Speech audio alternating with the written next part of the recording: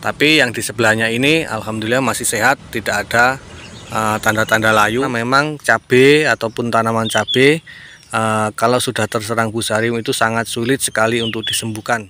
Walaupun kita menggunakan uh, fungisida yang kita beli di toko seampuh apa pun itu biasanya fungisida itu uh, fungsinya hanya sebagai protektif saja ya sifat Assalamualaikum warahmatullahi wabarakatuh. Salam semangat para sahabat-sahabat taniku semua di mana pun berada. Uh, Oke okay ya berjumpa lagi bersama channel Bacar Organik. Nah dalam kesempatan video kali ini channel Bacar Organik akan berbagi kepada para sahabat taniku semua Tentang cara untuk menghentikan ataupun mengatasi uh, dan juga membasmi yang namanya serangan jamur fusarium ya para sahabat ini semua. Jadi jamur fusarium itu adalah uh, merupakan patogen uh, yang menyerang bagian perakaran ya. Biasanya ciri-cirinya itu pada saat pagi hari, siang itu biasanya dia layu. Kemudian pada saat sore dan juga malam itu biasanya uh, tanamannya segar ya. Itu pada saat awal terkena. Kemudian lama-kelamaan dia akan mati ya karena perakarannya itu uh, dimakan ataupun digerogoti oleh yang namanya jamur fusarium. Nah itu kalau tidak segera kita basmi, kita kendalikan tentunya dia akan menyerang ataupun menular ke tanaman kita yang lain. Uh, dan penularannya itu sangat cepat sekali ya para sahabat tani semua. Nah maka dalam kesempatan video kali ini uh, setelah saya melakukan pembuktian ke tanaman cabai saya ini ya uh, yang terserang fusarium Nah, ini adalah tanaman cabai yang dulunya ini terserang fusarium dan alhamdulillah ini sudah bisa saya kendalikan, sudah saya stop. Cukup satu tanaman ini saja dan tidak menyebar ke tanaman yang lain ya. Alhamdulillah tanaman yang di sebelah-sebelahnya ini uh, masih tetap dalam kondisi aman, tidak ada serangan. Ini karena saya mengaplikasikan satu bahan uh, bahan ini merupakan bahan yang sangat ampuh sekali uh, untuk menghentikan layu fusarium ya ataupun untuk membunuh jamur fusarium. Nah ini ya uh, jadi saya cukup menggunakan satu bahan ini saja para sahabat teknik semua. Uh, jadi saya sudah membuktikan saya sudah menguji cobakan ke tanaman cabai saya uh, yang terserang layu fusarium seperti yang anda lihat semua ya para sahabat teknik semua. Ini real ini adalah tanaman cabai saya yang terserang fusarium dan atasnya ini sudah saya buang biar tidak mengganggu pemandangan. Tapi yang di sebelahnya ini alhamdulillah masih sehat, tidak ada uh, tanda-tanda uh, layu dan ini sudah saya lakukan sekitar uh, semingguan yang lalu ya, uh, bahkan sekitar 10 hari yang lalu ini saya biarkan setelah saya aplikasikan satu bahan ini bagaimana apakah menyerang, apakah menyebar fusariumnya ternyata alhamdulillah tidak. Dan makanya dalam kesempatan video kali ini saya langsung berbagi kepada para sahabat teknik semua agar supaya para sahabat teknik semua apabila mendapati tanaman cabenya terserang fusarium agar supaya tidak menular ataupun merajalela menyerang ke tanaman yang lain ya. Jadi misalkan ada satu tanaman yang terserang jadi cukup satu itu saja langsung kita stop langsung kita hentikan ya untuk serangan fusariumnya. Karena apa? Karena memang cabai ataupun tanaman cabai uh, kalau sudah terserang fusarium itu sangat sulit sekali untuk disembuhkan para sahabat ini semua. Ataupun dicegah agar supaya cabenya itu tidak mati itu sangat sulit sekali. Walaupun kita menggunakan uh, fungisida yang kita beli di toko seampuh apa pun itu biasanya fungisida itu uh, fungsinya hanya sebagai protektif saja ya. Sifatnya dia sebagai protektif saja.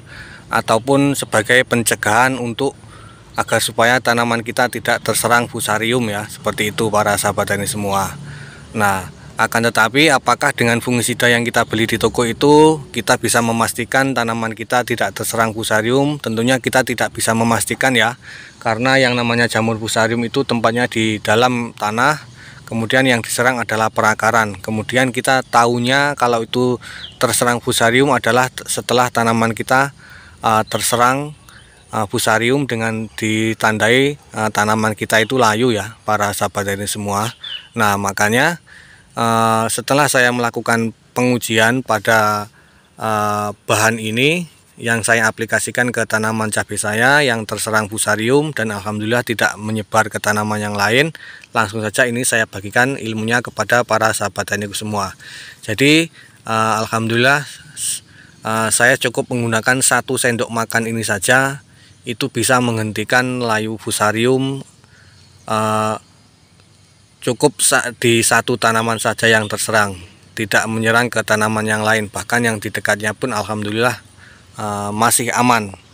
Dan ini pengujian ini uh, sudah saya lakukan itu sekitar 10 harian yang lalu ya atau sekitar seminggu yang lalu ini sudah saya buang uh, daun yang di bagian atasnya saya buang di sana di tempat pembakaran itu. Nah nah makanya setelah saya pastikan ini tidak menyerang ke tanaman yang lain makanya ilmunya langsung saya bagikan kepada para sahabat ini semua. Nah oke okay ya nah, disimak ya untuk uh, bahannya ini apa kemudian cara pengaplikasinya bagaimana. Jadi untuk bahannya ini uh, saya menggunakan baking soda ya ataupun soda kue. Ya biasanya soda kue ini digunakan para ibu-ibu untuk membuat kue ya para sahabat ini semua untuk mengembangkan kue. Nah ternyata setelah saya aplikasikan ke tanaman cabai yang terserang fusarium, alhamdulillah ini mampu membunuh fusariumnya dan ini dulunya ini terlihat ya jamurnya sampai ke atas ini. Uh, jamur fusariumnya terlihat putih-putih dan ini sudah sudah mati nih para sahabat ini semua. Nah, ini saya cukup menggunakan uh, baking soda ini. Nah, kemudian untuk harga baking soda ini cuman Rp5.000 saja per 250 gram kemudian untuk penggunaannya sangat irit sekali ya para sahabat ini semua. Jadi cara untuk menghentikannya itu tidak kita spraykan ke semua tanaman akan tetapi cukup di satu tanaman saja yang kita berikan ya. Nah, itu sudah sangat efektif sekali tidak menyerang ke tanaman yang lain ya para sahabat ini semua.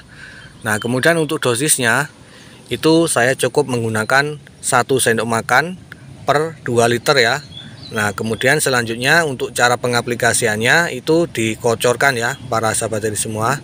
Nah oke langsung saja kita praktekkan ya.